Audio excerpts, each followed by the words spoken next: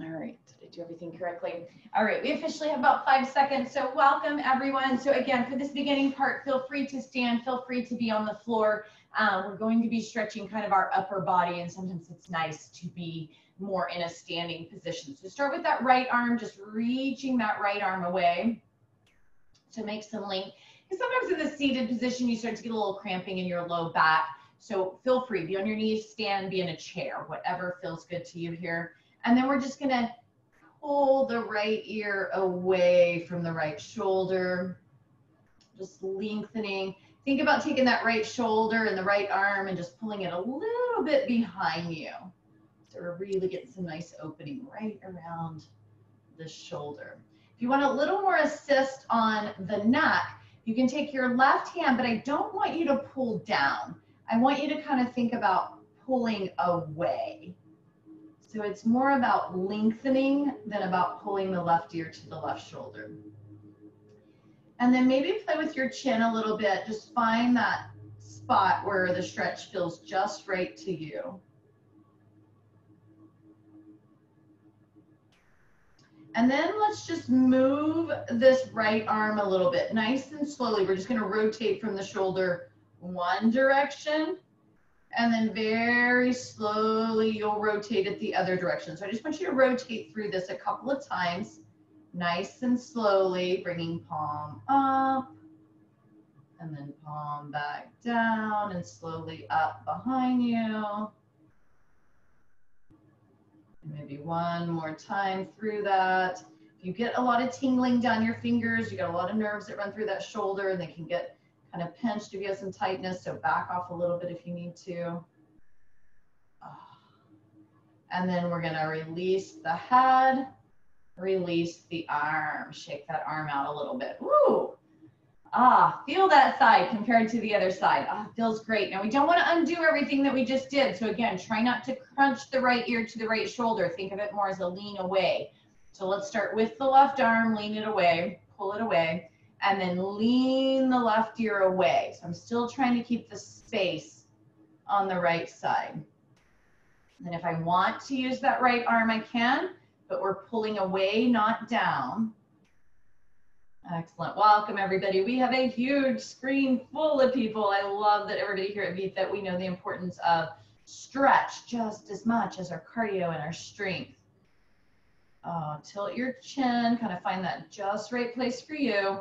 And then we'll start this rotation through the left arm.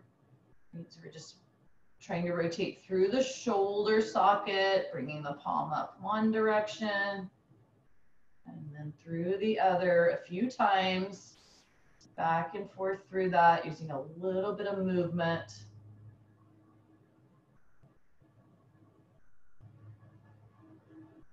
And breathe, and you remember you don't have to hold your head at all.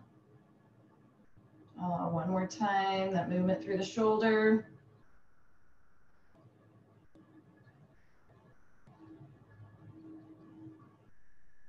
Nice. And then gently release the head, release the arm. Ah, move that arm around, move your head around. Ooh, I feel like a new woman. All right, let's come a little bit into our legs. We'll still get into our back some here as well. So bringing the bottoms of the feet together with that space. So I don't want them in too close to me like a butterfly. This is called bound angle. Some people call it star pose. Heels are out away. Hold onto your shins relax the shoulder blades down your back and we're going to start with a hinge forward. So think about the chest staying up and you're just hinging forward. You'll start to feel some stuff come along the outside of your leg. Pause there. Pause there with the chest up, shoulder blades engaged down your back a little. It's like you're leaning forward. You don't want to round your back yet. Take a couple of breaths. Move your neck a little. And then we're gonna get to start to add that round to our back, which is gonna feel awesome on our back. But as you start to round your back, I want you to still think about leaning. So pull forward as you start to let the chin bow, the forehead fall, the back round. Uh, and then you can allow yourself to just release here. You're still gonna probably feel some stretch. Um, but hopefully it feels pretty good. It feels kind of releasing through the back. You can play with tucking the chin a little closer to the chest.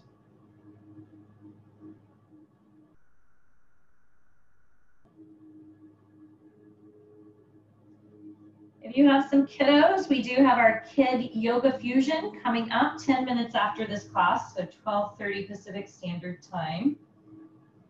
Love to see the younger V-Fitters join us, join me. Remember Yango signups, kind of last day, today, tomorrow. We start Yango on Thursday. And if you're having any little bit of FOMO, fear of missing out on God-sized dreams, GSD, I think there may be a couple of spaces open for that. So as we head here towards the end of September, two awesome programs starting in October. From here, we'll work our way up. Oh, we'll take those legs and straddle them out, coming more towards the inside of the thigh. Wiggle around, hands come forward again. Start with the hinge. So relax the shoulder blades down the back, gentle flex of the feet, hinge forward. Just feel that lengthening down the inner thigh. And then on this time, as you come lower, I want you to try to keep as much length as you can in your spine. And then just gently let your head relax. So I'm not really rounding on this one, but you don't have to keep your head cranked up. Just let your head relax. You'll get a little curvature of your back, but not as much as we just did. I want you to keep thinking about pulling the crown of the head forward. So anchoring down into your glutes, your hamstrings, pull long through the shoulders and then the ears away from the shoulders. deep, deep inner thigh stretch. And then I'm subbing barre today, so 1.30 Pacific Standard Time. If you are a barre regular, it is with me today um, as Coach Lindsay gets to enjoy a little bit of vacation time with her family. I'd love to see you then as well.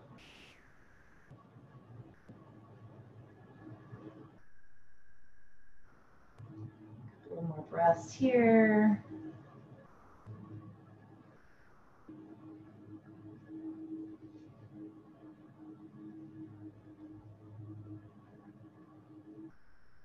And then slowly make your way up.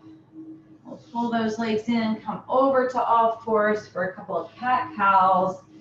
Some easy movement of the spine. Dropping the belly and then rounding the belly and moving at any pace that you like. So cat cows are fabulous. We can use them in a lot of different ways. We can actually use the cat as building core strength by really focusing on pulling the belly into the spine. I want you to just think about moving in a way that feels good to you today. So at a pace that feels good to you. Maybe your movement's small, maybe your movement's big. Maybe you want to get a little side hip swing in there as well. As you're either in cat or in cow or in both.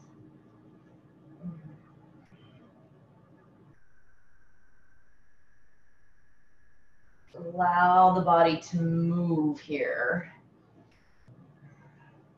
Now you can stay here more in this all four position, or if you would like, you can curl your toes under and kind of come into some movement into that down dog. So dropping hips side to side, or I like to kind of push back and forth, right? Or just stay in all fours. We're enjoying a little bit of movement, a little moving stretch. Hmm. Nice. And then what we're going to do is start to bring our left shin forward. So our left shin is going to start to come across that mat into that pigeon pose. If you do not like pigeon in this position, I'm going to show you a couple of options. But to those of you that are happy here, right, you just start to find your pigeon, you lift up off your left hip, maybe you lay it down. Some options you can actually kind of just set in this little bit of a mermaid position here. So this does get some hip openers. You also have the option to take that left ankle over that right knee into the seated or on your back reclining four stretch. Each one of these positions have just a little bit different, you know, pull to them, stretch to them, but they're all very similar. So finding what works for you. The reason I like the pigeon in this position is because we're gonna stretch our quad in a minute as well. And you can do it from right here. Stay here first, just in your typical pigeon.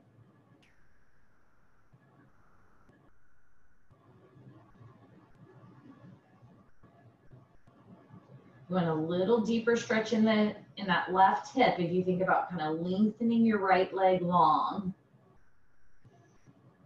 A little deeper stretch.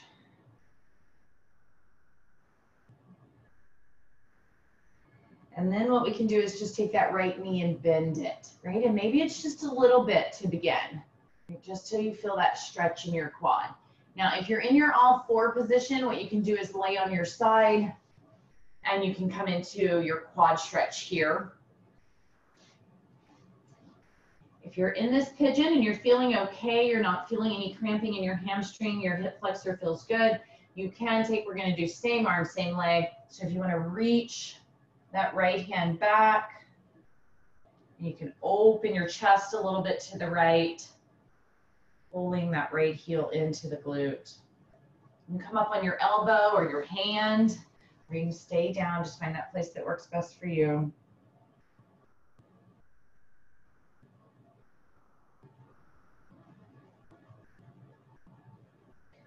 Two or three more breaths here.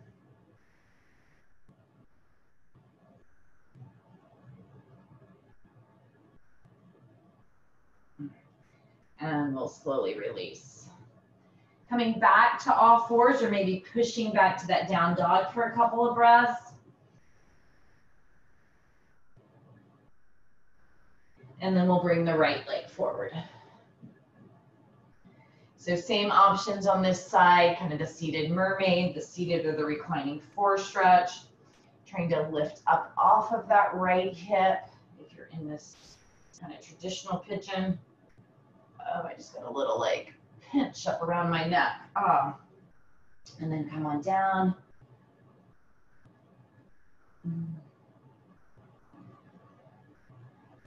Nice. Stretching into that hip.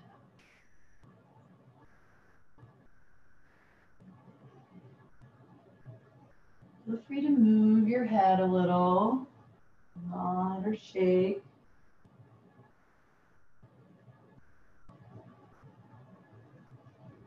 Try to reach the left toes away, deepening that stretch into the right hip. A couple of breaths here. And then we'll add bending of that left knee. Remember, you can stay here right? Just kind of being aware of your hamstring. We don't want that hamstring to, to cramp on us.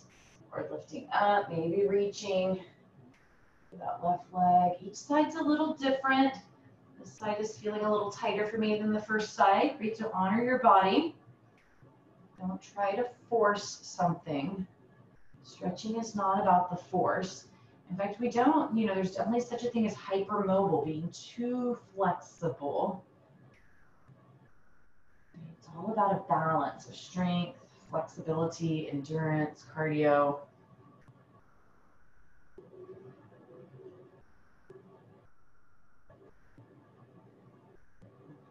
More breaths here.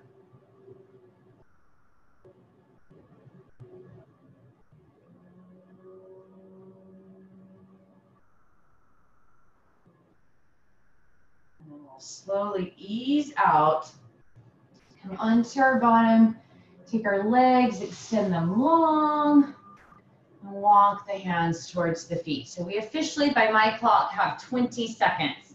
So if you've got a few extra seconds, hang out with me so we can get a little bit longer in this nice forward fold.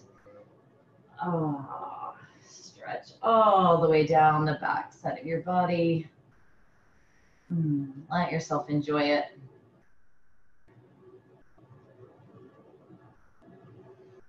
Of course, if you have a few extra minutes in your day, I invite you in just a moment as we come out of this pose and take 10 seconds or so to feel free to lie on your back, give yourself Shavasana.